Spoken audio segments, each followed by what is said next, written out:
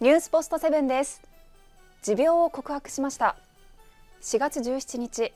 すっぴんで元気に握り拳を振り上げる自撮り写真を投稿した飯島直子さん。ある病気の悩みを書き込んできたフォロワーに向けて私も右手の小指だけヘバーテン結節出すと笑顔の顔文字付きでさらりと持病を告白しました。